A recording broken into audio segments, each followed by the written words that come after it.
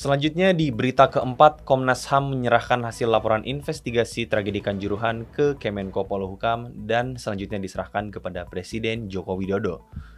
Komnas HAM menyatakan tragedi Kanjuruhan merupakan pelanggaran hak asasi manusia akibat pengelolaan pertandingan sepak bola yang tidak mengedepankan keamanan dan keselamatan. Komnas HAM menyebut penyampaian laporan ini bagian dari amanat undang-undang, sebab kasus ini melibatkan kepentingan banyak pihak. Komnas HAM menyatakan tragedi Kanjuruhan merupakan pelanggaran hak asasi manusia akibat pengelolaan pertandingan sepak bola yang tidak mengedepankan keamanan dan keselamatan. Komnas HAM mengungkapkan sistem pengamanan menyalahi aturan PSSI dan FIFA.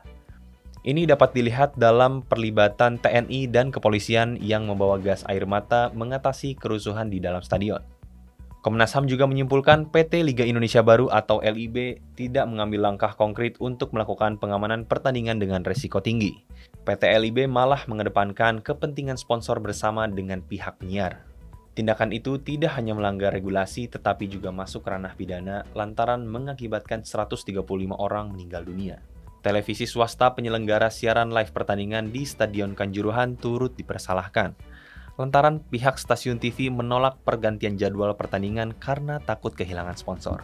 Sementara itu, Ketua Umum PSSI Muhammad Iriawan alias Iwan Bule kembali diperiksa Polda Jatim terkait tragedi Kanjuruhan. Iwan Bule yang sebelumnya mengajukan penundaan kini memenuhi panggilan penyidik. Informasi menarik yang kelima, almarhum HR Soeharto, dokter pribadi Soekarno, dan Wakil Presiden Muhammad Hatta bakal menjadi pahlawan nasional. Selain itu, terdapat empat tokoh lainnya yang bakal menjadi pahlawan nasional atas usulan masyarakat.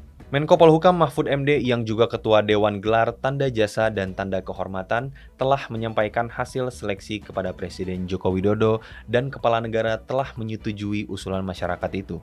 Hasil seleksi telah dilaporkan kepada Presiden Jokowi di Istana Kepresidenan Bogor, Jawa Barat, Kamis 3 November 2022. Selain HR Soeharto, empat tokoh lainnya juga telah disetujui Presiden menjadi pahlawan nasional, yaitu KGPAA Paku Alam 8, Raden Rubini Natawi Sastra, Salahuddin bin Talibudin, dan Kiai Haji Ahmad Sanusi. Mahfud mengimbau daerah-daerah asal para tokoh penerima gelar pahlawan nasional mempersiapkan diri hadir pada peringatan Hari Pahlawan 10 November yang rencananya akan digelar hari Senin 7 November 2022 di Istana Negara Jakarta. Kalau menurut kawan inilah seperti apa menanggapi berita-berita yang ramai dibahas di media sosial ini? Silahkan tulis di kolom komentar dan demikian rangkaian berita hari ini. Jangan lupa subscribe di YouTube channel inilah.com. Ikuti terus perkembangannya. Saya Nondo Adi Pratama. Wassalamualaikum warahmatullahi wabarakatuh. Sampai jumpa.